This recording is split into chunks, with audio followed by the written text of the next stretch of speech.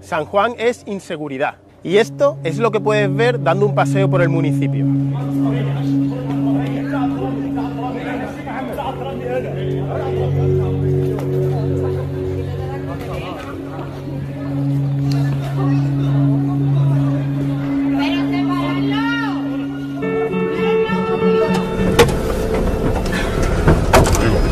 Hay muchísimas casas ocupadas por aquí.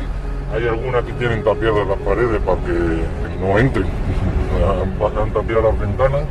Y, el problema de la ocupación ilegal de vivienda aquí en San Juan de Alfarache es un problema que se vive de forma cotidiana, es un problema que desde el día a día afecta a muchos vecinos. Aquí ya, mm, si se mete, hay una, hay una casa vacía, el primero que pueda que se meta. Aquí sobre todo porque esto se ha abandonado. Eh, hay casas que son propiedad del ejército y ya se ha abandonado ese, ese sentido de la propiedad privada. Toda esta montaña mm, no la cuida desde hace ya 30 años.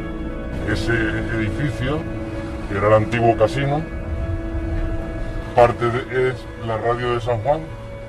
Yo creo que no necesita San Juan una radio ni una televisión. Esta casa es la casa de, de la parroquia. Y hace cuestión de dos meses intentaron robar e incluso ocuparla. Hay dos derechos fundamentales aquí para una persona.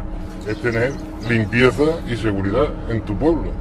Y además San Juan es un ejemplo claro de lo que es esa izquierda hipócrita. Yo sé que él está imputado en otras cosas también. Igual que también le cogieron un borracho conduciendo el coche oficial. Eh, y estuvo imputado por 400.000 euros todos los concejales de San Juan de la Parache del Partido Socialista son cómplices de apoyar a una persona así. En cualquier momento, a cualquier hora, en cualquier barrio, en cualquier plaza, en cualquier esquina, la inseguridad la viven los sanjuaneros y los partidos políticos del ayuntamiento lo callan. Hay un pacto entre ellos para silenciar los verdaderos problemas que azotan en la vida diaria de los ciudadanos. San Juan es inseguridad,